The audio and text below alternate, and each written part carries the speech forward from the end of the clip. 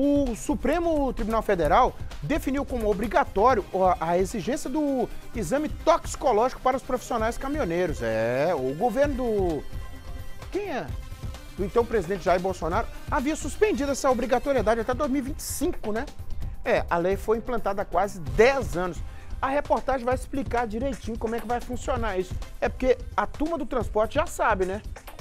Tá em vigor, então vai ter que fazer o exame. A reportagem fala sobre isso aí, pode balançar.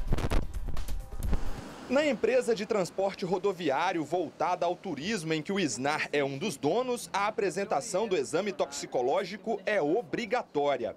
A regra vale tanto para contratar um novo motorista, quanto aos que já estão na casa e devem se atentar à validade do documento.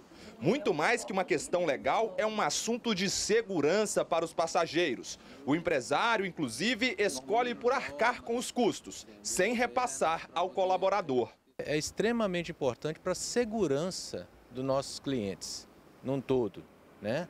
Você pensar que você está contratando um transporte para você se deslocar para qualquer destino do país, mas sabendo que aquele profissional que está ali na condução está apto com a saúde dele, com os exames cardíacos, com os exames de sangue, todos os exames que cuida da saúde e o toxicológico, é segurança, que é o principal no transporte. Os ministros do Supremo Tribunal Federal decidiram que a exigência do exame toxicológico de larga escala para motoristas profissionais é constitucional, ou seja, é legal. Sendo assim, permite a legislação verificar se os condutores habilitados nas categorias C, D e E consumiram substâncias psicoativas, como as anfetaminas, que inibem o sono, além de diversas outras drogas que reduzem a capacidade de dirigir.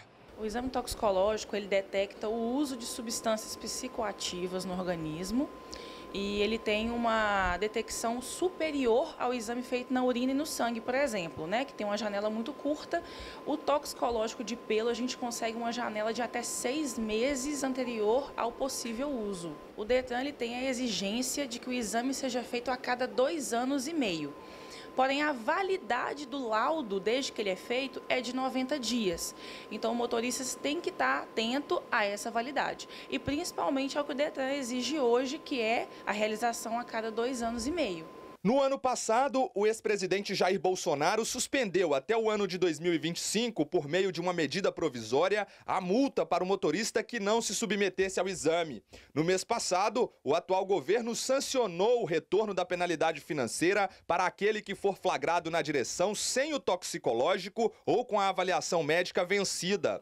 O tenente da Polícia Militar Rodoviária, Marcelo Gomes, explica sobre os prazos para a aplicação da nova lei e fala sobre as sanções que podem acontecer. A multa para quem não comprova né, a renovação desse exame toxicológico, ela é uma infração gravíssima, a penalidade dela é multa e a suspensão do direito de dirigir. Essa penalidade é gravíssima cinco vezes.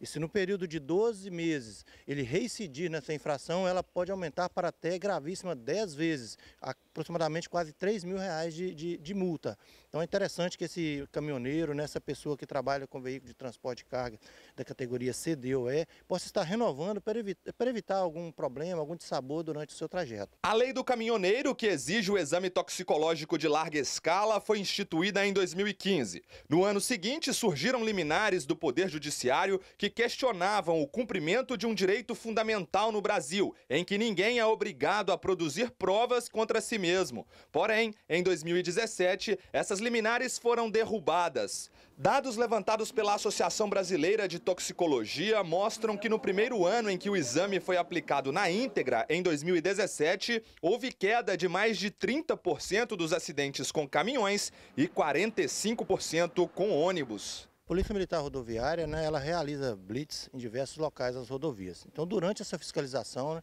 através dos nossos aplicativos de fiscalização, a gente tem condições de verificar se aquele motorista está ou não com o exame toxicológico em dia. Então, mediante essa análise que é feita lá, nessa verificação, a gente pode estar aplicando a autuação de trânsito em decorrência dessa não renovação do exame periódico.